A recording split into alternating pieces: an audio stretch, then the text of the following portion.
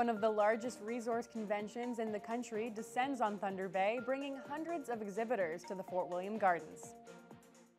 Good evening and thank you for joining us. The Central Canada Resource Exposition, also known as CENCAN, has taken over the gardens and the Fort William Curling Club. The conference runs today and tomorrow. Lee Noonan was at the opening ceremonies and joins us now in studio. Lee, what's been happening down at the gardens? Well, Ryan, there were hundreds of exhibitors, some really big machines, a lot of networking opportunities and equipment demonstrations, and they even let me try out a very big drill. There was a line stretching out the doors to get into the CENCAN Expo at the Fort William Gardens and Curling Club. Ontario Minister of Mines George Pirie made the drive up from Timmins to kick uh, things off with his comments on the city of Thunder Bay. Their uh, population is increasing. It was declining like the population all across the north was. Those days are over. Those days are over and it's because of people like Glenn that organizes these events that pulls the people together and says, this is the opportunities that we have in northwestern Ontario. He was joined by newly appointed Associate Minister of Forestry, Kevin Holland. It highlighted to me the synergies that exist between mining and forestry and how we have to be moving those two industries forward together and how they can help support each other and making sure that we're taking full advantage of the natural resources that we have. According to Jamie Taylor, CEO of the Thunder Bay CEDC, the CENCAN conference itself is expected to bring more than $1.2 million into the city over just two days, and the mining sector overall brings approximately $40 million a year into the local economy. We really want to promote ourselves as the hub for Northwestern Ontario, and that's why we're really focusing our efforts on ensuring that we have this mining supply and service um, that all of the mines in Northwestern Ontario are going to need. The jackleg drilling competition is one of the highlights of the conference every year. They've got dignitaries, they've got pros, and they've got complete novices trying to drill a one foot hole through this rock. Red Lake Mayor Fred Mota and Atikokan Mayor Rob Ferguson joined Dougall Media's own Ted Jessup in the dignitary drilling competition, with Mayor Mota taking first place. All of our mining activity that's happening, our current activity, and our future. So, example, Kinross Gold will be opening up. We have West Red Lake Gold. We have Evolution. And to the north of us, with the federal announcement of the Berens River Bridge, Frontier Lithium to the north. Uh, mining resources is extremely important. For many of the companies at the conference, growing their workforce is a priority. More than 90 are actively hiring there. CENCAN has made event registration free for anyone bringing in resumes or training applications. Lee Noonan, TBT News. A Thunder Bay man initially charged with second degree murder has pleaded guilty to the lesser charge of manslaughter. Police were called to the 200 block of Robertson Street on the morning of September 20th, 2023, following reports of a serious assault. The victim, 63-year-old Richard Jung, was found with life-threatening injuries and died in hospital a week later. The suspect, 25-year-old Randy Andrews, was initially charged with aggravated assault before that charge was upgraded to second-degree murder after Jung's death. But Andrews appeared in court earlier this summer and pleaded guilty to the manslaughter charge. He remains in custody with a sentencing hearing scheduled in early October. Thunder Bay police have now laid charges following a two-vehicle crash involving a school bus earlier this week. It happened around 8.15 Monday morning on John Street Road at the corner of Mercier Street. The school bus had 14 students on board when it was struck from behind by a car.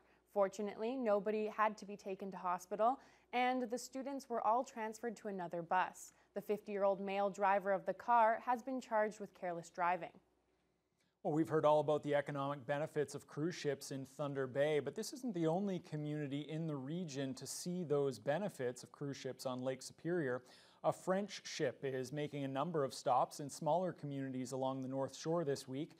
Justin Hardy met the cruise ship Le Champlain in Red Rock this morning and brings us the story. The town of Red Rock received some visitors Tuesday morning as the Ponant Le Champlain cruise ship made a stop as part of its Lake Superior tour. The French vessel stopped near Red Rock's marina and ferried tourists ashore. Dan Bevilacqua is the executive director of Superior Country, the organization that has been working to attract cruise ships to North Shore communities. He says stops in small towns mean an exciting boost to tourism revenue. Thunder Bay obviously gets the gets the largest economic benefit from the ships. Um, however, just by coming into these small communities, we're able to put things together like guided hikes, uh, indigenous interpretation, and all kinds of different programming that really spreads the economic wealth around. So this is very big for the small communities along the North Shore. They haven't seen anything like this in years, and, and we're thrilled that Superior Country was able to bring this here. Guests were greeted by Red Rock Mayor Darquise Robinson and introduced to some of the local First Nations culture before being shuttled to local trails to explore the nature the area has to offer. Robinson says the visit by Le Champlain and a previous stop by a Viking cruise ship have been exceptionally beneficial to the community. She adds that she hopes to see more ships pull up to the town in the future. I sure hope that uh, Superior Country can build on what uh, what they've done so far. Uh, again, they advocate for all these uh, communities along the North Shore, and uh, I just think that you know we're we're going to represent them well here in Red Rock, and that they can bring uh, maybe they can bring one or two more ships in for next year. It's extremely important that we're ready for these cruise ship guests and that we offer the best services available to them. really, right now, it's it's just about putting our best foot forward and ensuring that they have a great time so that we have repeat clientele in the future. Uh, not only do the cruise ships bring an economic impact right away when they're here, but also the travelers that are on the ships are coming back to the area again um, to really explore it. Once leaving Red Rock, the ship will continue east along Lake Superior, stopping at other North Shore towns like Rossport and Terrace Bay before ultimately returning to Thunder Bay to end its tour. Justin Hardy, TBT News. A beloved fall tradition will soon come to an end. Gammondale Farm has announced that the 30th annual Pumpkin Fest will be the last one. Owners Sue and Jerry Gammond are planning to semi-retire. The news comes as they celebrated the farm's 40th anniversary with a ribbon cutting this morning. There we go. Got her. Hey, we did her. This year's Pumpkin Fest is expected to be the biggest one yet and will feature more than 20 attractions, including new activities like pumpkin bowling and a no left turn maze. In celebration of the final year, the community is invited to bring in old photos taken at Gammondale to post on an anniversary memory wall inside the barn. Jerry Gammond says it's bittersweet saying goodbye to the long-standing tradition, but notes that they still plan to operate the farm on a smaller scale and keep the sleigh rides going. We've always done children's birthday parties and a few school tours, and we'd like family reunions. We've done anniversary parties, these kinds of things. We may even be doing some small versions in the fall, uh, birthday parties where we have a fall theme to it, but it'll be by reservation and smaller groups, so it's easier to manage. And we'd like to keep doing it, yeah, as long as we can. We enjoy it. We've always enjoyed uh, hosting the public, and so children come out and have fun. And uh, if we can do it a little bit longer, we're going to carry on. Pumpkin Fest starts on September 28th on McCluskey Drive and will run for five weekends, including Thanksgiving Monday. Tickets are available now on the Gammondale Farm website and must be purchased before visiting the farm. The group that tracks tornadoes in Canada and the northern U.S. is confirming that two more twisters touched down in the Thunder Bay area during the Labor Day long weekend.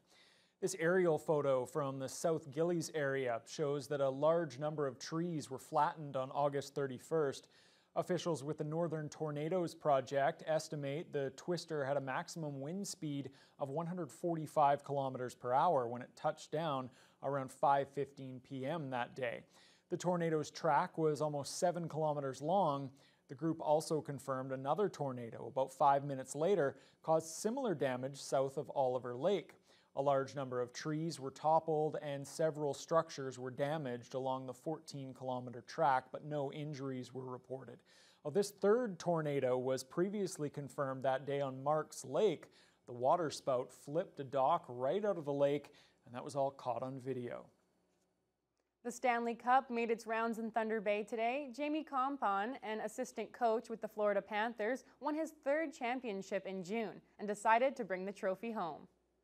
A private event was held over the lunch hour at the Northwestern Ontario Sports Hall of Fame to allow family and local dignitaries a chance to get pictures with Kompon and the Cup. The Thunder Bay native was inducted into the Hall of Fame last year and then went on to win his most recent championship. Kompon says he was honored to be named to the Hall of Fame and expressed his gratitude by visiting with the famous trophy. Honestly, this is crazy, but I've never been here. So this is special, and I know what Diane and Dave have done for me uh, to get me into this, into the Sports Hall of Fame, and I, I wanted to show how how much it meant to me by bringing it back here and, and letting people share it here because it's it is important. It is important to give back. I said to him, now I guess we have to change all of his records because it's not two Stanley Cups, it's three. And it was less than nine months that he changed that, that history. But I have a feeling, knowing Jamie Kompon, it may be uh, a few more. He's a great coach and uh, he's, he's a, he loves the game of hockey. The day of festivities continued later this afternoon with a community event at Port Arthur Stadium. Joel Mendelson was down there, and we'll have that story coming up in sports. Yeah, a lot of excitement with uh, people in the city today, getting their chance to see the cup and take a picture. And uh, yeah, if, uh, if like Jamie Kompon, you haven't been down to the Northwestern Ontario Sports Hall of Fame, get down there because it is a pretty good time. All right, let's turn our attention to the weather now, Fiona. And it was another day that felt like midsummer once again. Definitely not hockey season. No, not Didn't, quite. It felt a little bit weird to be talking about Stanley Cup when we have temperatures as high as 26 and a humidex of 31 yet again. Really, this, this is September 11th. This is not normal. Now, it was mostly cloudy most of the day. Just in the last few hours, things have started to clear out. So this evening is, is looking pretty clear and quite nice. But winds were relatively light most of the day. Started out from the southwest, about four kilometers per hour. That's almost completely calm, to be honest. It did kick up to about 15, 16 kilometers per hour and started to come in from the east. So a little bit cooler, uh, more off the lake. And uh, all in all, just a gorgeous midweek. Now, if we take a look at what's happening across the region, there are some clouds that are pushing in from the west. We've got mostly cloudy skies in both Fort Frances and up into Red Lake and into Pickle Lake and Sioux Lookout and Dryden. But temperature wise, uh, they're all pretty close to their highs for the day, but the humidex, once again, making things feel quite a bit warmer. The humidex is hovering around 28 at this time in Fort Frances, up into Red Lake, little cooler, but the humidex is still managing about 25, 26. As you head further eastward, lots of sunshine in the Greenstone region and into Armstrong. Just a gorgeous day and sitting around 25 in that area, but it is actually showing a humidex of 30 at this hour. Then along the eastern shores, just a touch cooler and the humidex just slightly cooler, but they do have more cloud cover on this side of Lake Superior. So all in all, pretty consistent through most of the region now. Here in the city of Thunder Bay tonight, it's going to drop down to 12 Celsius. So once again, uh, several degrees above normal. We should see lows in the high single digits, 8, 9 Celsius or so. So we're still quite mild.